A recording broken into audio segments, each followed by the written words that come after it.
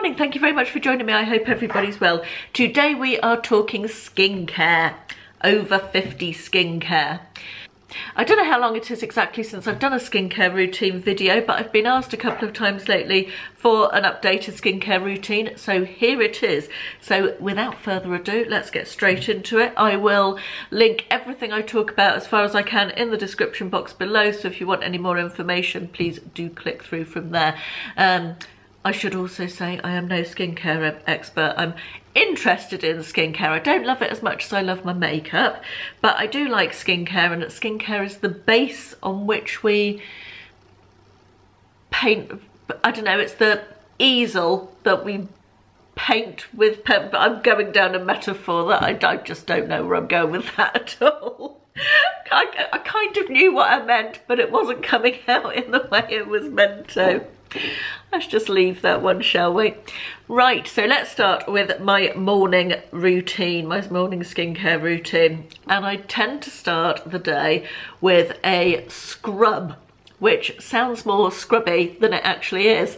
Um, this is the L'Oreal Smooth Sugars Wake Up Scrub. I've talked about this before. Regular viewers will know that I like this range. They also have, the other one I like in this range is the Glow Scrub, which reminds me very much of a product by Fresh, but for about a third of the price. Um, that's what that one looks like. This is very heavily coffee flavoured, so if you don't like coffee, you won't like the Wake Up Scrub. Um, but I quite like this. It gives me a bit of a morning lift, which I guess is the idea of it, isn't it? That's why it's called the Wake Up Scrub. And it's sort of a gel texture with um, scrubby bits inside. These are actually coffee grounds, I think, inside it.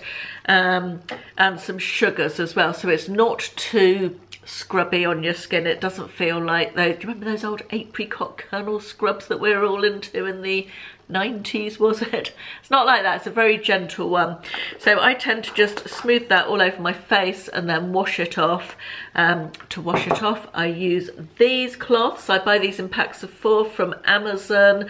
Um, they I, I used to use normal face flannels but they're heavy and they retain the water and I feel like they need washing more often than these. These are very lightweight almost sort of microfiber and I also find that these take makeup off well but we'll come to that um, later in the video. But yeah I just rinse it off with one of these and then I move on to my next step which is generally a little spritz of this. I this is Body Shop Vitamin E Aqua Boost Essence Lotion. I call it Vitamin E Toner. Um, I love this product. This is one of my favourite spritzy toners. Um, it, it comes in a, just a, it's got a little hole at the top there but I prefer to use my toners as a spritz so I transfer it into this spray bottle. I think I buy these in Home Bargains or Poundland one of those places. Um, I've got several of them so yes I will just spritz that all over just to refresh my face next. Then I will move on to this product which is vitamin C. Now vitamin C is an ingredient that is very big in skincare at the moment. It's become more and more popular, but the problem with vitamin C, from what I understand, is that in liquid form, once it, the air gets to it, so once you've opened the bottle, it has a very, very short shelf life. So I really like these capsules. This is a Beauty Pie product, the Super Active Pure Double Vitamin C and Vitamin E um, super active capsules it's called and they come in a little tiny orange thingy like that. You just twist the top off and it delivers the perfect amount for your face. Um, so that's my next I don't that's my next step. And then I follow that with a serum now, I tend to rotate my serums. I don't always use the same one at night and in the morning. I've always got two different serums on the go. And my two favourites are Body Shop Drops of Youth, which is that one. Um, I've used this range almost since it came out, a good long time, and I really like it. It's not the cheapest. This is around 23 or something, I think, and you can... Um, sometimes get it on offer on the Body Shop and sometimes if you Google you can find it cheap. I'll have a little Google and I'll see if I can find it cheaper than that and link it below.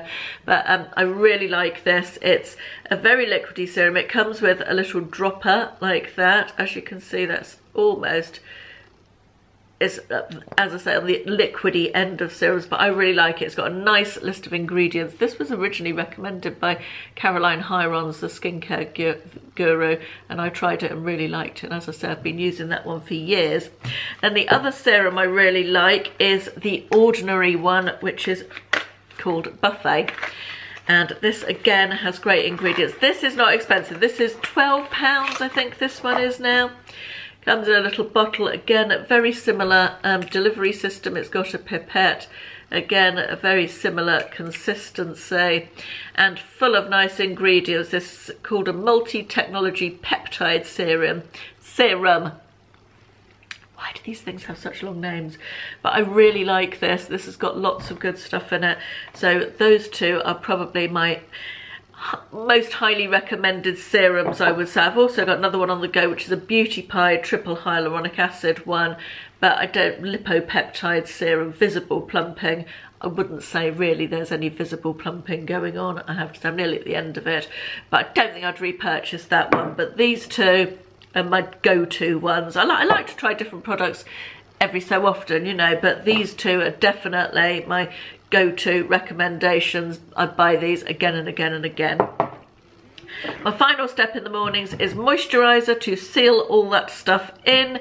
And moisturiser I'm using at the moment is the from the B range at Superdrug. Again, inexpensive and they very often have good um, offers on this range. is also cruelty-free and vegan, I believe, the B range.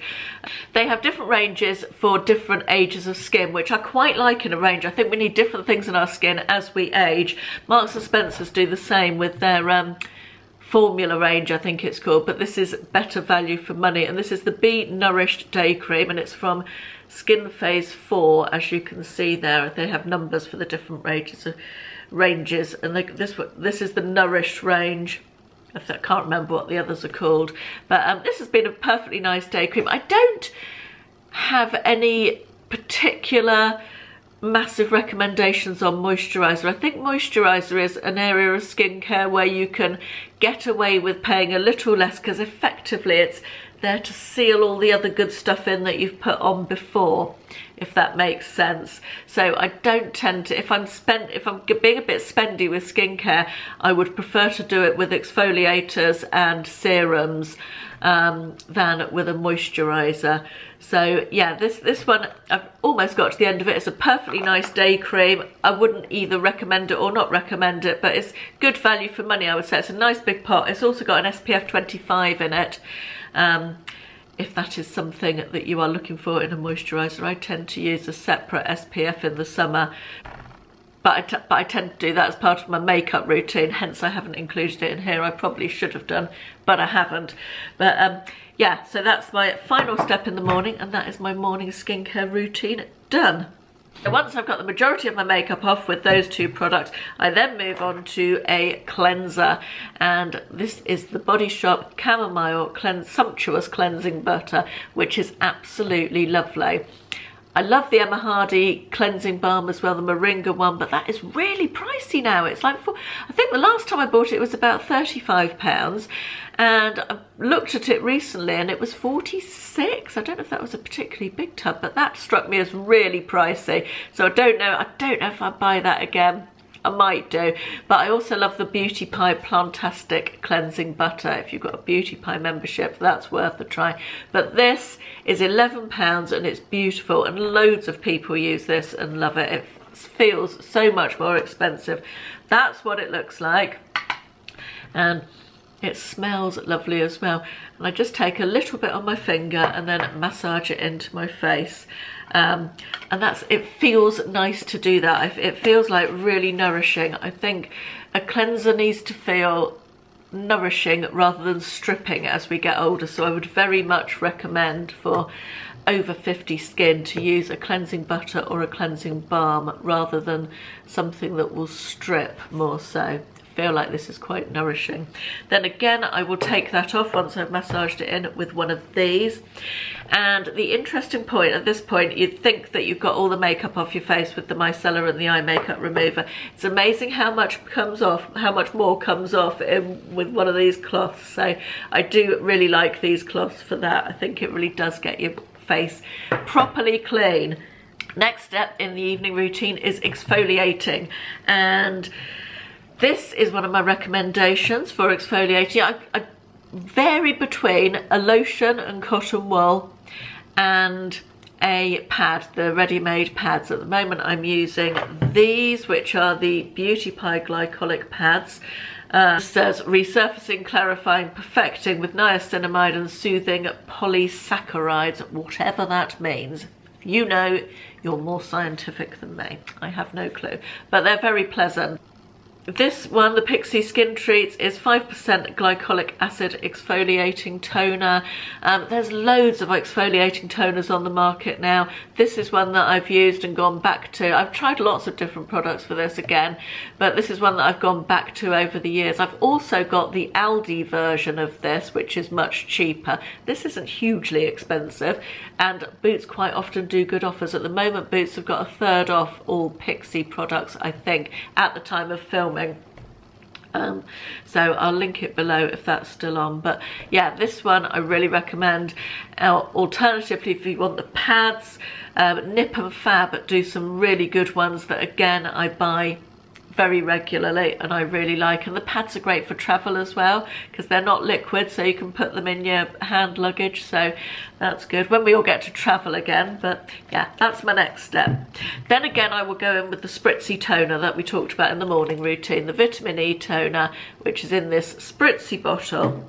Um, the other one that I've been using recently which I really like is the Thayers Witch Hazel alcohol free toner and this is rose flavoured um, this smells really very nice indeed. It's not too strong a rose scent, but when you spritz it, you just get a nice gentle rose petal scent, that sort of late summer scented roses in the garden. It's really, really nice. So that one's not, I think this one I got from Amazon. It's not that easy to get hold of in this country, but if I can find it, I'll link it. But um, this one is a very good backup or, or alternative as well, the Body Shop Vitamin E.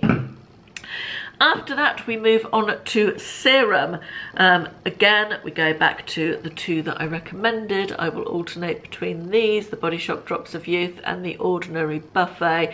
This one better value than that one, but this one's got more in it, of course. This has, I think that's a 50 mil and that's a 30 mil, so take that into account as well.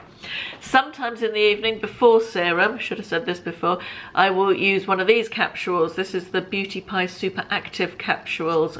Again, similar to the vitamin C ones, and these are hyaluronic and, and biopeptide microspheres. No, hyaluronic and micropeptide microspheres.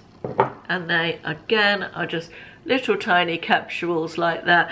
These I probably use three times a week, um, not every single night. Again, I think it's good to change your routine up a little bit, not be put in the sun. I think your skin gets used to the same thing every night. In fact, Avon did some trials on a product they brought out a few years ago where it was a double two different products in one type of thing as serums and you use one for one week and one the following week and they felt that I think the results of the trial came out that it, this, it was good for the skin to have that changeover of different products and not have the same thing all the time. Um, finally, I need use a moisturiser at night and currently I am using the Glow Recipe sleeping mask, watermelon sleeping mask. This is, I had been wanting to try this for the longest time and didn't buy it and didn't buy it. It was quite expensive in this country and then I bought it when I went to the States in December and I love it. I didn't think I would love it as much as I do. It's a, let me just show you this. It smells watermelony, cucumbery, and it's a sort of gel texture. It's like that. So it's not a moisturiser as it's not a moisturizer as in a cream. It's a very lightweight watery gel feeling um, moisturizer. But it really does moisturize my skin. When I first opened it I thought mm, that's gonna be too it, it's not gonna be full on enough for my old haggard dry dehydrated skin. But in actual fact it is I would say it's more of a spring summer moisturiser than a winter moisturiser but I've been really enjoying this so much so that I've recently bought another product from this company the banana night cream which I haven't tried yet but I'm looking forward to trying. But this one is a bit spendy but I think really worth it. I really like the light feeling of it on my skin. I think it's very moisturising but very light Right, that's it. I feel like I've bombarded you with a whole load of products there. I hope it wasn't too um, too much. But as I say, I'll, I'll link everything in the description box below. Let, let me know if you've got any skincare recommendations for us ladies of a certain age, anything that you couldn't live without or recommend for me to try. I always like your recommendations. Um, that's it for today. I'll see you again on Sunday. Thanks for watching. Bye-bye.